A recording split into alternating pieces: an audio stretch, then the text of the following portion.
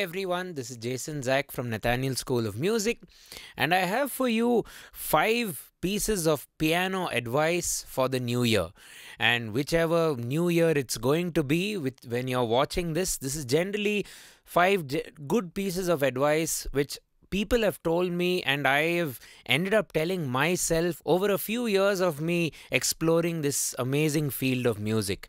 So I'm just going to get cracking with this and these are just some reality checks. You can you probably have some goals for the new year like i want to learn this on the piano i want to go to this school or i want to buy this book or i want to do this course and all that.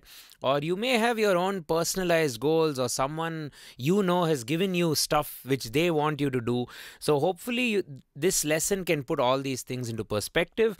Before we get cracking it'll be awesome if you could give that video a thumbs up and hit the subscribe button It'll be great. And again, thanks for all your support for our YouTube channel, all of the subscribe, all of you subscribers out there.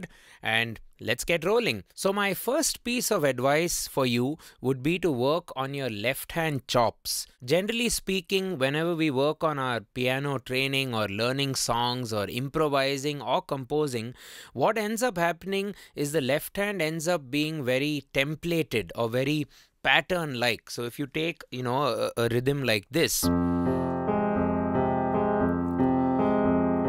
This has a specific groove one E and a two E and a three E and a four E and a specific hit points, right? One E and a two E. So the the thing here is if you get that pattern or if you get that chop as we call it, which is the way I'm playing the chord or the way I'm voicing the chord number one.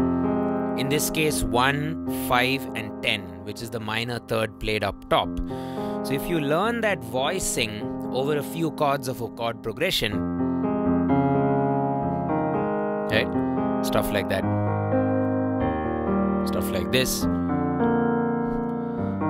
Basically triads is what i'm doing. So i'm playing them in this spread shape or this spread position and then of course trying to develop a rhythm pattern around that. So there's a lot of activity being developed in my left hand. There's first of all the way i'm voicing the chord which is spread and then the way i'm rhythmically performing the chord which, which I'm, I'm not doing uh, you know, I'm not just doing crotchets or quarter notes, I'm doing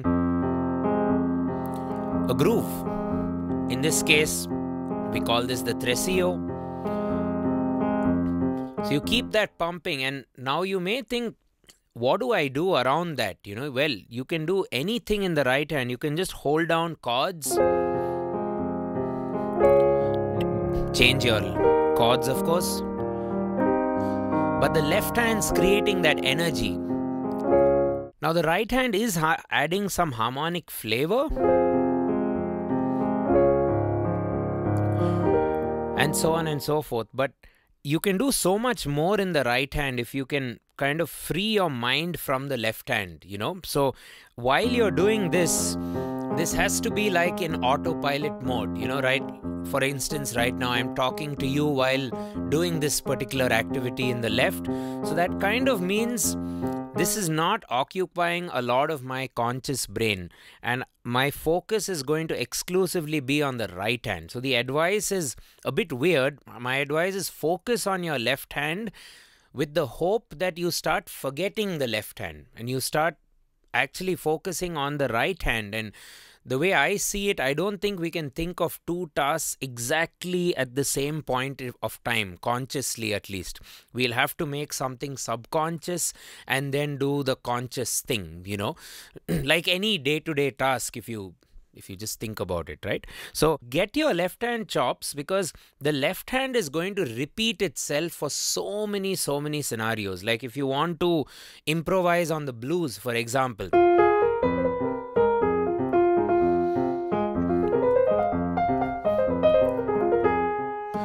Or if you mm. want to play maybe a famous tune.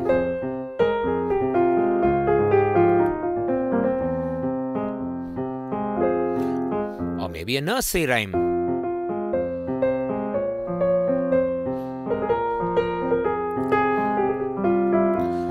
Or if you want to change an existing tune.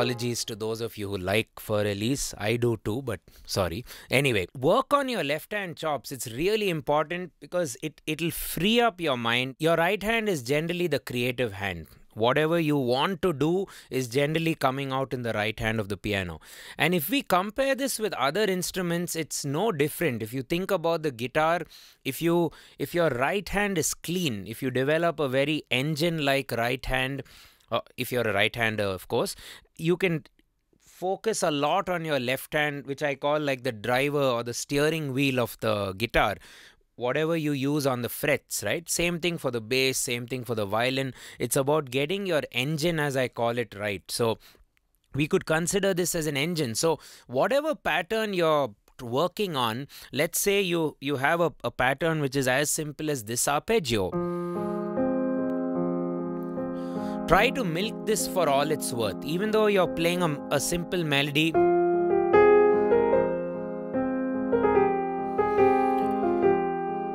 don't only play that melody you know do all sorts of things around that arpeggio try to make that the pivotal point and i also call this the bottom up approach of piano learning which i keep telling students because most of the especially the children's books out there and the exam oriented books out there what tends to happen is they'll start you off on a very feel good process by getting you to play a, a, melody. The melody will be only on white notes, and a lot of you who watch the channel regularly know how much I diss C major. So I do that only to encourage you to focus on other keys and other scales and explore the, the two kinds of keys, which are the whites and the blacks. Now, most of these children's books or uh, you know exam pieces and stuff focus exclusively on the right hand and people almost forget the left hand you know, that and sometimes you have this whole keyboard way of learning. So the way in india we are taught we have the piano way where you learn generally learn classical music through sheets or you have the keyboard way where it's only the right hand which kind of does it all and the left hand does some horrific things. It basically pushes buttons to produce drum beats and other such things which a real drummer could do. So you're actually mm, destroying the point of playing the piano and ruining another guy's uh, profession. Or a kid who wants to be a drummer will see a keyboard player pushing these ridiculous buttons and think that you know they why drum when uh, uh, some random guy is just hitting buttons and getting some random beats out of it? So my advice to you is focus on your left hand and the left hand and the right hand when you play them together it's sort of like walking on two feet. It balances your body and you need to put in the same amount of effort for both hands when you play. So the bottom up strategy which i generally tell students is start with the foundation start with what is making the audience move. It could be a pulse it could be a chord progression it could be the foundation of the music. And what comes last? Always do the catchiest thing or the coolest thing last. Generally speaking the catchiest thing in a song which you play on the piano is the melody. So it's a nice strategy to bring that melody in last because you've then invested time learning proper chords and rhythm patterns which may not be to your liking initially but then you realize that you've you've created a product you've created a template which can be used for a variety of pieces variety of compositions you make variety of songs which you're learning from different ages. So that is advice number 1 you need to work on your left hand and work on your left hand chops so focus on playing chords correctly in the right way the right inversions and also with the right rhythm patterns which you want to do over the new year. Moving forward, so another thing I'd like to suggest this is more for those of you who are doing, you know, classical music and other such things. Don't think that if you do piano through sheet music or sheet reading, it's going to allow you to play your favorite songs, you know, your your contemporary dance hits or your you know salsa songs or rock songs or pop songs of today. So the skill to play classical music yes is definitely going to improve your technique. It's going to for sure improve your reading but it's not going to get you to be uh, affluent with timing and uh, understanding of groove. So you need to start focusing on your groove and focus. If ever you're learning rhythms on the piano, try to make it a conscious effort to learn dance rhythms. So that that would be advice number two. You know things like.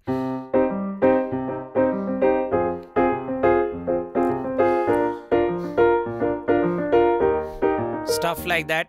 Now, you may be thinking, okay, that's not my cup of tea. I don't like dance music. I like more of the soothing ballads and so on. But it's these dance rhythms and dance progressions in general, which honestly, even I don't like. I don't like the chord progressions used in dance music for the most part, but I like the rhythms. The rhythms are really good. And the piano, the way I look at it is it's like a drum. If ever you would compare the piano to anything, I would compare it with a drum or a tabla or a any percussion instrument. Focus on your rhythmic chops, your dance rhythms in specific, and that will really help you understand subdivisions and develop syncopation between your hands. Because if you want to get your two hands working, like you need a context so dance music gives you the context if you just do waltz patterns or just just patterns like that you know it's not going to push or elevate your knowledge to play rhythmic stuff. And playing dance music gets you to understand subdivisions, all the quavers and the semiquavers, the dotted notes, the rests in between them. Just playing things like, you know, just endless 16th notes.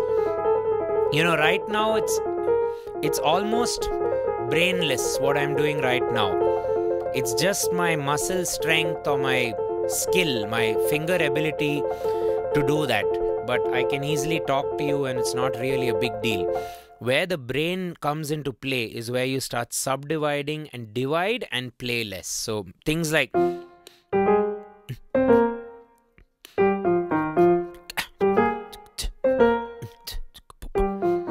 See, that was a lot tougher for me to do than than that. It's really easy to do if you ask me right compared to what i did earlier. So rhythmic subdivisions learn them and apply it with a lot of dance rhythms which i'm sure some of you are doing already. I'm sure you love these songs these dance songs. And if you want to stay current with music going forward you know in in the next years to come well, you have to ma- learn how to play a variety of music, and more so, a lot of our listeners, general music listeners, appreciate music which gets their body to move. So, if you're stuck in a kind of a classical shell learning music which is just to improve your technique or great harmony or great melody i would encourage you to focus on your rhythm don't don't avoid anything be open to different kinds of music. And now for advice number three. This is a very important thing which I find piano players missing out, especially again, classical play- players, kids, and so on. Learn the blues. You have to learn the blues, whether you're a you know a death metal musician or a Hindustani cl- classically trained musician doesn't matter. You need to learn what we call as these roots genres. So start off with our YouTube channel. There are a lot of videos in the description. We have a series of how to play and not only play, also sing the blues while you play. So focus a lot on the blues. It can be very helpful. So get first of all, you need to understand the 12 bar blues form.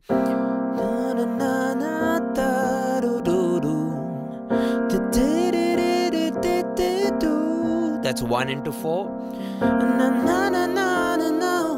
That's the 4 chord. And then back to back to 1. And then the 5 chord.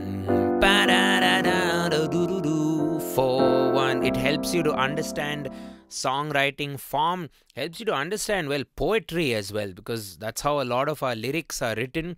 Look at the blues. It's a great writing structure and it's been around for generations. Almost everyone play the blues and have learned a lot from it doing so. So invest a lot of time into the blues. Listen to a lot of blues. Listen to artists like bb king uh, john mayer eric clapton and so on and so forth.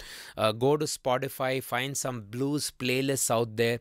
It's a simple chord progression, 12 bars, but the feeling in which they play it, that's something which cannot be described in words. So you also need to feel music when you play it, right? You you're, you're not supposed to just see a sheet music or do what someone tells you to do you you it's an art form so you need to try and feel it moving forward to advice point number 4 right. So this is a general musical piece of advice. There are three i would say pillars of music. Theory ear training and execution or technique. Theory is knowledge. It's knowing and just knowing and knowing and knowing uh, knowing the rules, knowing what our great musicians of the past have done, and maybe what they have not done, and then someone else has done. So it's like an adventure. So it's always entertaining to learn new things and discover new things. It's like watching, you know, a National Geographic channel or something like that, you know. Uh, ear training, on the other hand, can get a bit daunting and a bit mystical or mysterious for a for a person because there's no book to study it. The only thing for ear training is you and the song or you and the music which you're faced with. And there are many ways of or things you need to do with ear training. You have to train your melodic ear. So if someone plays, you know, like a you need to figure out a way to know what happened. G, B flat, A, G, F, D, C, D, C, D, F, C, D, E flat, F, G, A, B flat, C, D, A, C, B flat, A, G, F sharp. Or if you're in the Carnatic or the Hindustani world and you use swaras, well, uh, Sa, Pa, Ma, Ga, Re, Sa, Ni, Sa, stuff like that. You need to know your intervals. So if you're faced with a melody, these are things you need to work on. You don't have to call it piano playing or brand your entire life as a musician as being a pianist. That I think is also a wrong thing. Try to think I'm a musician first and I happen to be able to play music with a piano because in one lifetime it's not very easy for one to to pursue many instruments very few do it uh, i'm not discouraging you but it's it's damn tough so uh, for, considering or assuming your focus is the piano, try to invest the time, yes, in playing it. But remember, piano is an extension of your musicality. So, whatever's in your head, you need to bring out through this instrument. So, you need to control the piano in a sense okay it's an extension of your voice it's, it's sometimes i tell uh, piano students in class i'm i choose sometimes not to sing but i can sing through the piano. So the piano is like my voice. It's so easy to just sing. We have our voice right here. It's not so easy to play the piano because it's away from us but that is the job. That's what we try to do over the years of practice right? So ear training is you know a little bit of a mystery but i would really encourage you to start slow work on your intervals work on your timing, work on understanding rhythm. That is also very much ear training. Ear training is not just saying, Can you please tell me what is the name of that note? You know, G, E flat, C, A flat. You know, that is not ear training only. And to be honest, it's what we call absolute pitch. Some people tend to have it because as kids they kind of are forced or they start music lessons at a very early age and as we all know, children can figure things out a lot faster. It's probably like how we learned the names of colors in our school. We learned it as kids. I don't know what that would be, uh, how that would be if we learned colors now as maybe an adult, if you're an adult watching this. It's the same thing with maybe even languages. We learn most of our languages as kids. It kind of comes into us a lot better. So, perfect pitch is not something you need to strive for. Look at relative pitch, which is the gaps between notes notes. Focus on chords, focus on chord progressions, focus on you know the circle of fifths. Focus on rhythm and subdivisions and reading rhythms. You have a piece of music with some rhythms in front of you and just like try to clap it out. Try to clap rhythms. That is also ear training. Now there's theory versus ear training versus playing. Now i said that in the beginning. Don't obsess about any of those three you want to always be very free about these three pillars of music because they can kind of obviously you can't take any of them for granted but you you can't over ob- obsess over any of them. You can't just say oh i'm a i i, I suck at music. I, I can barely hear anything well so what if you can't if you think your ears are bad you can still play quite well. You could you still probably know all your scales your major your minor maybe your intervals. So you, it's just something we need to work on and we have to see what we are not so good at and what we need to get better at i guess. And again for classically trained people sometimes we tend to obsess about the theory and some musicians tend to believe and some teachers tend to believe that music theory is the ability to read the music symbolic language which is staff notation or whatever it may be some form of notation. I don't think that's music notation that's music reading. For it's the word reading is there for a reason sight reading. Music theory is just knowing your data off the top like what is the sixth from g? And there are two kinds of sixth. There's major sixth and there's a minor sixth right? So music theory the one problem with it is it could become very adventurous. It's sort of like you know a, a, football game where you know you watch a game you're not really a footballer but you're a huge, huge football fan. So you watch it with all your friends, and everyone has a great opinion about what could have happened in that moment of maybe some goal being tried or shot at or whatever. But then you realize at the end of the day, you have a reality check that, you know, what that person did was at the moment, at the spur of the moment, with a hell, hell of a lot of pressure, and only he or she can do that can do that particular activity. So I would think music theory shouldn't be, become like that because if you get too much into it, then you don't become a performer. You don't be the guy who's going to go on stage. And I know a lot of friends, a lot of great musicians who actually don't know theory. Like they don't know the chords of the C major scale. They don't know that the four chord is F major. But they can make some timeless songs. So, uh, theory is not the end all. It's not going to make you somewhere. It's not going to make you like a film composer. What really matters, I think, you need to have that drive and that passion for embellishing or improving in all these three departments theory, ear training, and playing. You need to have the drive, and the drive comes from listening to music and just being a music lover not just looking at music as saying, I want to do this, I want to do that. We all love sports and we all look up to someone who's a great sports player. And only then do we actually take up that sport or do we want to go to a coaching or whatever. We have that aspiration. So, music should tend to be like that in, in that in a lot of senses right so balance of theory ear training and uh, playing and don't obsess about anything. You want a balance of all these three. Moving forward. So, the last piece of advice which I have for you moving forward into the new year would be understanding how to practice piano. You know, you you have exercises, you have songs, you know all that's generally what we do. We say okay i want to practice piano today for about an hour. What do i do? I'll pull out a book. The book will have some finger drill. Maybe have a chord progression or maybe I pull out a song book or a, one of those fake books where you have the melody and the chords on top and you just play along or you sing. You want to accompany. Now a, a few things to keep in mind. Like try to generally if you're calling it music practice think of it again like sports practice. You know you're trying to do something or you're trying to be challenged. Or generally the way i look at practice is you try to do something you don't know or something you you at the moment suck at. You you have no clue about it and it's really really it, it, it it's kind of tormenting you. It you need to get better at that. So my advice to you is when you first play the piano never play something you know. Always play something you have no clue about. So if it's an exercise great. Let it be a fresh one.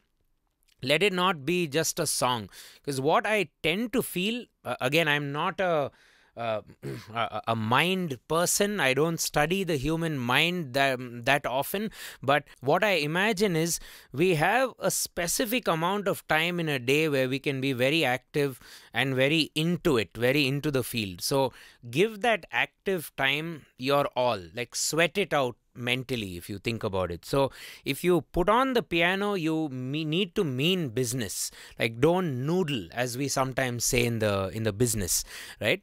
You need to play with purpose. So whenever you're on the piano my suggestion is start by being creative. Play freely. Make mistakes. Do whatever you want. Like nothing is wrong right or wrong. And most importantly like respect your time on your instrument. Like don't just play piano to play the piano. You should play the piano in such a way that nothing should distract you. And that takes time that takes discipline and that needs a lot of respect. You need to respect your instrument. It does you, that doesn't mean you need to close the rooms lock the doors or you know curtains or be aloof. You can you can play. You can you can be around friends. You can be in your house. Your family could be around you. The tv could be on. It doesn't matter. But you have to play with purpose and conviction. So I would encourage you to start by playing freely. Just play without too much of thought. It's sort of like how I make my riffs, which you some of you follow daily uh, on the channel. So that generally comes about, you know, just having about an hour to spend, and you try do whatever you can in that hour and there are a lot of hit and misses when you try to create music. So you have to understand that one day you may make something useful and the other day it's absolute garbage. So you want to get the garbage out you know it's sort of like a, a pipe. So uh, eventually there will be good water flowing through the pipe so to speak. So keep trying and uh, don't judge yourself too much as you keep playing the piano.